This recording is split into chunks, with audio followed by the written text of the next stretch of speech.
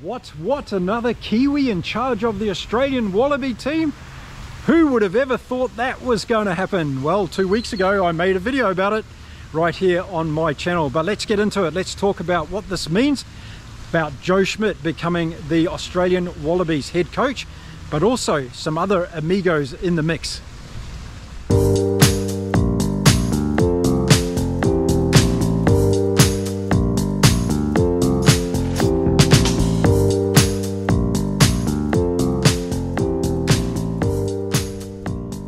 G'day everyone and welcome to Inside Rugby. My name is Mark and I'm a Kiwi rugby fan living in beautiful Cancun in Mexico.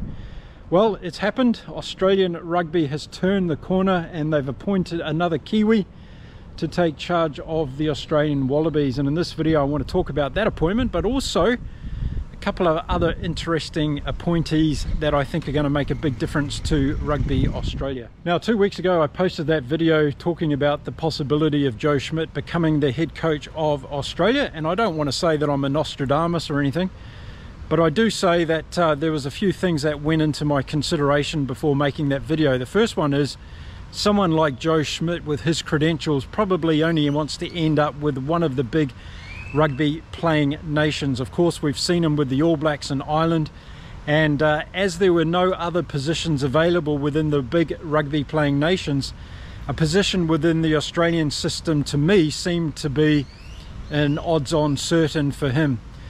The other thing that uh, made me think that this was going to happen was the fact that Joe Schmidt is a Kiwi.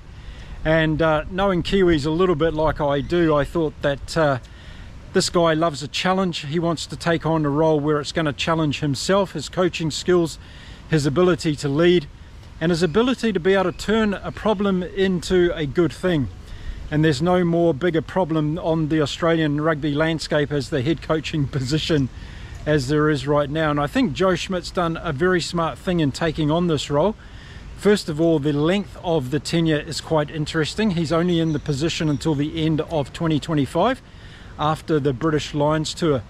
And if you listen to his press conference yesterday, it was obvious that Joe Schmidt had put a lot of thought into this, in particular as to what he sees his role as the head coach. And obviously, sitting down with Rugby Australia and having that conversation through the interview process, they obviously all ended up in the same position of thought. And that's why Joe Schmidt has been appointed to this particular role. And what I'm talking about in terms of what Joe Schmidt will actually bring to this role is he's been put into this role to try and turn the Titanic around and to try and get uh, Australian rugby, particularly the Wallabies obviously, back into the structure and the playing form that we all know that they're capable of doing. Now he's been given that tenure for two years to try and do that. And I think what's actually very interesting is the other appointments that Rugby Australia have made around Joe Schmidt and I'm going to talk a little bit more about that in this particular video. I've called them the three amigos and uh, obviously there has to be a Mexican flavor to that and I wanted to look at uh, how important I think the positioning of Peter Horn as the Director of High Performance Rugby Australia was the appointment of David Nucifora as the advisor of the High Performance Rugby Australia unit. Now I think these three combined appointments are very, very good on behalf of a Rugby Australia. And it could be the first showing that they've actually turned the corner in terms of the type of personnel they want in charge and they're giving the faith to to bring Rugby Australia out of the catacomb that they're currently in. And I think this is an exciting opportunity for rugby in Australia and for the Wallabies in particular. So looking at those three individuals, I think they all bring the necessary kind of experience that's going to be required to be successful in this tenure.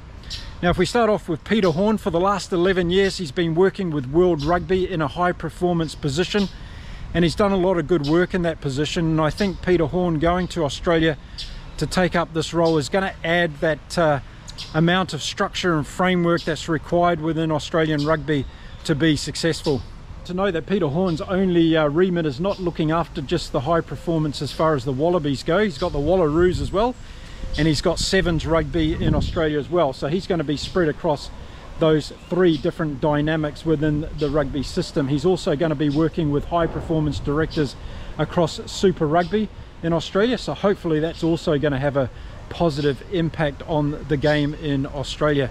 So some of Peter's other significant roles have been uh, general manager for Saracens for a number of years and many would say that he did a good job there. He's also been the high performance director for Samoa Rugby so he's had an opportunity to experience rugby and the administration of rugby in the Pacific Island nations which I think is very very good experience. He's also been instrumental in Australian Canoeing Federation and also the Australian Equestrian Federation so he's a, he's a well-proven administrator in sport and uh, in the high performance area. And I think this is going to be key to him being part of this Three Amigos plan to turn Australian rugby around and turn the Wallabies performance around as well. So I think the appointment of Peter Horn has been a very sound one on behalf of Rugby Australia. Now I want to keep a positive spin on this because I think we all agree that we want Australia and particularly the Wallabies being very strong in the world of rugby. It's good for competition. It definitely is good for our um, neighbours down there, down under, to be performing at their highest level. And I think by having Peter Horn and Joe Schmidt in those two positions, there's a good opportunity as Wallabies have ever had in turning this ship around. Now looking at the third piece of the puzzle, we've got David Nucifora. And if we go all the way back to 2002, David was appointed the head coach of the ACT Brumbies in Australia. He had immediate success and they won three titles on a row. And um, what was really interesting about that was after his third title, he actually got sacked by the administration down there. So even being a winner doesn't mean that you're guaranteed to keep your job. And in that case, David didn't keep his job as the head coach of the ACT Brumbies. In his playing career, David was a Wallaby hooker and uh, has experience as a player on the field and that uh, sometimes leads to a lot of compassion and uh, resilience as far as understanding what players need. So he has had that experience at international level. In 2005, David became the coach of the Auckland Blues and um, it wasn't long before that team went on a losing streak and it wasn't appreciated by the fans and everybody in charge. So he effectively ended up getting the sack from that particular position. 2009 David went on to become the general manager of the Australian Rugby Union High Performance Unit and uh, took on the job of being the coach of the Australian under 20 team and did a pretty good job with them as well but in 2014 he made the big decision to apply for a job to go and uh, work with the Irish Rugby Union and ended up being part of a team that started to turn Ireland's rugby fortunes around. Many Irish fans that are watching this show today will agree that David was part of that team in 2014 that came together for the Irish Rugby Football Union as the high performance director and started to turn the fortunes of Irish rugby around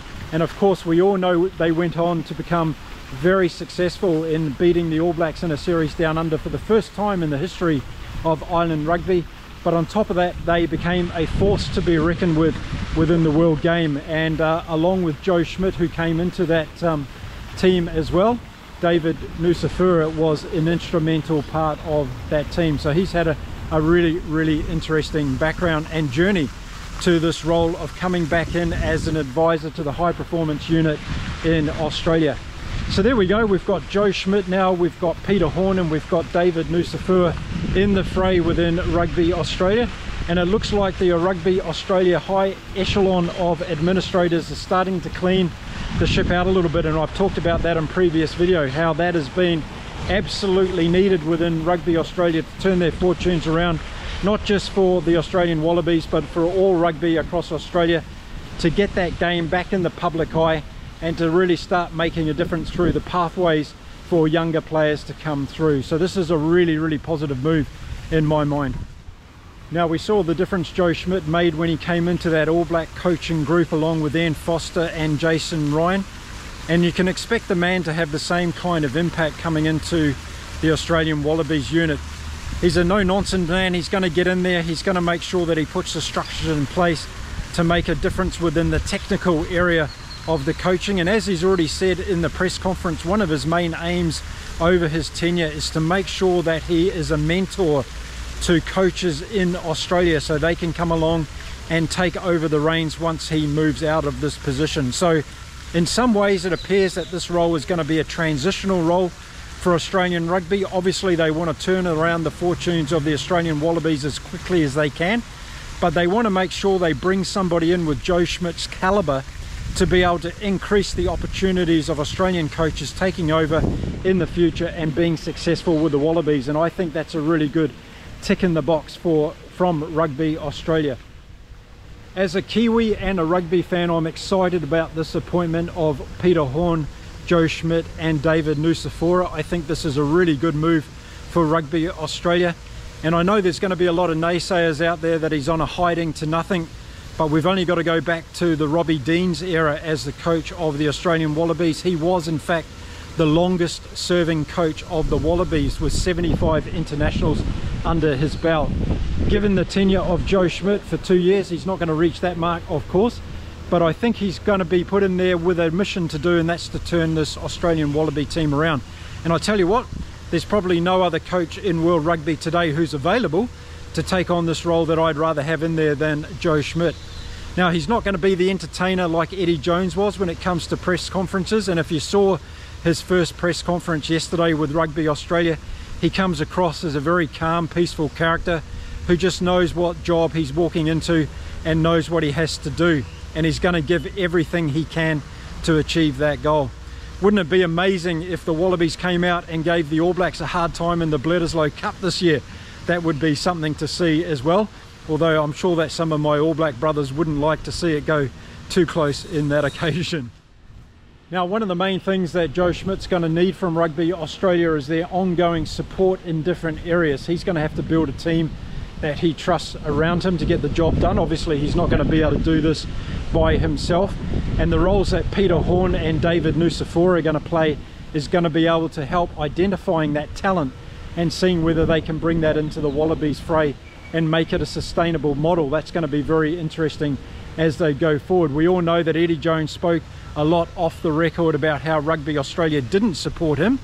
Well, the time has come now for them to put their chips ahead of their mouth and to see whether or not they're going to give Joe Schmidt the level of support that he needs along with his team to be successful in this era.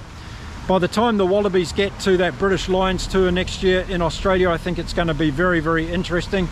I think if Joe Schmidt is able to bring this Wallabies team together and produce some really good rugby, then we're going to see a fantastic Lions tour in 2025 in Australia, and that's something that we should all be looking forward to as rugby fans. Now, like any coach, Joe Schmidt's come in in his first press conference and said it's going to take some time to make these changes, but we all know how little time and patience rugby fans have across the world to see positive results on the field of play. So Joe Schmidt, there's no doubt about it, he's going to have to walk that fine balance between getting results on the field and doing the work behind the scenes to make sure that this Wallabies team is going to go forward in the right direction, but not only just have one-off wins, to bring the Australian Wallabies back up to the level of play that we've seen in past eras. That's going to be the interesting aspect of this journey. So overall, I'm really happy. I think it's a great appointment by Rugby Australia. Joe Schmidt's a fantastic individual on and off the field to play with his team. I think he's going to get the respect of all the players he's involved in, as well as the coaching team that he brings together around him. I think that's going to be another important factor and something that Eddie Jones wasn't able to always do in terms of have that whole locker room on his side. I think Joe Schmidt is a very different character. So there we go. I wanted to make a video about the appointment of Joe Schmidt, but also the impact of Peter Horn and David Nucifora in this Rugby Australia structure now. I think it's a very positive thing going forward. I'd love to hear your comments. What do you think of the Joe Schmidt appointment? Those of you in Ireland that are watching this video, you've had some first-hand experience with both of these guys, David Nucifora and Joe Schmidt, in terms of turning around Irish rugby. Do you think this is a good thing for Australian rugby and do you think this is going to help the Wallabies get back on the winning track? I'd love to hear from you. And those of you watching this uh, video from Australia, what are your thoughts around this appointment? I'd love to hear from you in the comments. Were you expecting the Kiwi to be appointed into this role or did you have someone else as your favourite for this particular role? I'd love to hear from you. Well, that's it for this video, folks. I thank you very much for watching my videos. Don't forget to leave your comments. Give that subscribe button a bit of a punishment and uh, give this video a bit of a thumbs up as well if you like my content. Now I'm going to be back again really soon with some more content. Of course, in the next two weeks, we're leading up to the Six Nations kicking off in Europe. That's going to be an exciting campaign and we've got some thrilling rugby coming up this year across the whole calendar. So I'm going to be following all that and I'm going to be giving you my reviews and analysis of all those important games that are going to be coming up this year. So make sure you stick around with me here on Inside Rugby. Okay, well stay safe, stay well, and it's time to say adios from beautiful Cancun Mexico. I'll see you all again soon in the next video. Until then, bye for now.